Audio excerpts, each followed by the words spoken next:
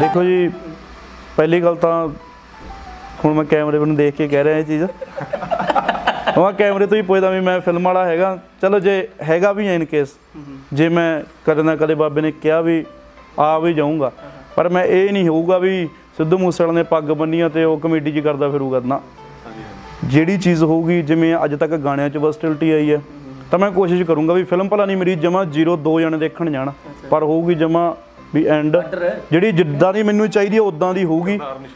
ਮੈਂ ਕਰਤਾਰ ਨਹੀਂ ਛੱਡਣਾ ਜੀ। ਜੋ ਚੀਜ਼ਾਂ ਹੈਗੀਆਂ ਯਾਨੀ ਕਿ ਜਿਹੜੀਆਂ ਚੀਜ਼ਾਂ ਹੁਣ ਤੱਕ ਹੋ ਚੁੱਕੀਆਂ ਇਹ ਨਹੀਂ ਹੈਗਾ ਵੀ ਵੀ ਆਪਾਂ ਵੀ ਉਹੀ ਜਿਹੜਾ ਤੁਹਾਨੂੰ ਪਤਾ ਕਮੇਡੀ ਤੜਕਾ ਕੁਝ ਵੀ ਕਰ ਲਾ ਆਇਆ ਜਾਂ ਕੁਝ ਨਹੀਂ ਆਪਣੇ ਤੋਂ ਹੁੰਦਾ। ਜੀ ਤੇ ਕੋਸ਼ਿਸ਼ ਇਹ ਹੋਊਗੀ ਪਤਾ ਨਹੀਂ ਮੇਰੀ ਫਿਲਮ ਫਲॉप ਜਾਵੇ। ਮੈਂ ਅੱਜ ਵੀ ਕਹਿਣਾ ਹੁਣ ਬਥੇਰੀਆਂ ਫਿਲਮਾਂ ਦੀਆਂ ਆਫਰ ਆਉਂਦੀਆਂ ਵੀ ਇੱਧਰ ਕਰ ਲਾ ਉੱਧਰ ਕਰ ਲਾ।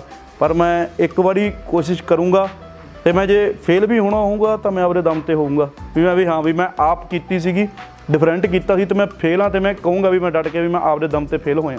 ਤੇ ਖੁਸ਼ੀ ਆਪਾਂ ਉਹਦੀ ਬਿਸਤਰਾ ਚੱਕ ਕੇ ਮੁੜ ਆਵਾਂਗੇ ਸਿੰਗਿੰਗ ਵਾਲੀ ਸਾਈਡ ਕੋਈ ਆਪਣਾ ਹੀਰੋ ਦਾ ਕਰਨਾ ਚਾਹੋਗੇ ਕਿ ਆਪਣਾ ਵਿਲਨ ਕੋਈ ਜੀ ਆਪਾਂ ਵਿਲਨ ਵਾਸਤੇ ਵੀ ਪਰਫੈਕਟ ਹਾਂ ਜੀ। ਭਾਈ ਦਾ ਕੈਰੈਕਟਰ ਹੈ ਭਾਈ ਨੇ ਵਿਲਨ ਭਾਈ ਨੇ- ਚ ਦੋ ਨਹੀਂ ਨਹੀਂ ਨਹੀਂ ਜੀ। ਫਿਲਮ ਵੀ ਹੀਰੋ ਹੋਊਗਾ ਮੈਨੂੰ ਤਾਂ ਲੱਗਦਾ। ਮੈਂ ਤਾਂ ਨਹੀਂ ਨਹੀਂ ਨਹੀਂ ਮੈਨੂੰ ਜਿੱਦਾਂ ਦਾ ਮੇਰਾ ਹੋਊਗਾ ਕਰੈਕਟਰ ਤਾਂ ਜੀ ਦੇਖੋ ਨਿਭਾਉਣ ਤੇ ਹੈ ਹਨਾ।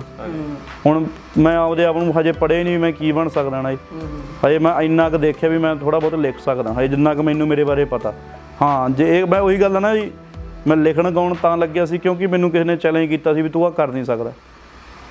ਤੇ ਮੈਨੂੰ ਮੇਰੇ ਬੰਦੇ ਹੁਣੇ ਯਾਨੀ ਕਿ ਜੇ ਮੈਨੂੰ ਕਿਸੇ ਨੇ ਇਹ ਵੀ ਕਹਤਾ, ਮੈਂ ਉਹੀ ਗੱਲ ਆ ਨਾ ਜੀ, ਅੜੀ ਚ ਤਾਂ ਕੁਝ ਮਰਜ਼ੀ ਕਰਵਾ ਲਓ। ਅੜੀ 'ਚ ਤਾਂ ਪਹਿਲਾਂ ਦੀ ਫਿਲਮ ਲਿਖਾ ਲਓ ਡਾਇਲੋਗ ਲਿਖਾ ਲਓ ਕੁਝ ਵੀ ਕਰ ਸਕਦੇ ਆ ਜੀ। ਹਨਾ ਜੀ? ਉਹੀ ਗੱਲ ਆ ਨਾ ਜੀ, ਮਰਜ਼ੀ ਦੇ ਮਾਲਕ ਮਾਲਕਾਂ ਜੀ, ਵੀ ਜੇ ਮਰਜ਼ੀ ਹੋਈ ਤਾਂ ਇਹ ਨਹੀਂ ਪਤਾ ਹਾਲੀਵੁੱਡ ਨੂੰ ਤੁਰ ਪਈਏ, ਜੇ ਮਰਜ਼ੀ ਹੋਈ ਤਾਂ ਇਹ ਨਹੀਂ ਪਤਾ ਗਾਣੇ ਵੀ ਛੱਡ ਜੀਏ ਆ ਜੀ ਆ ਚੱਕਰ ਆ ਜੀ।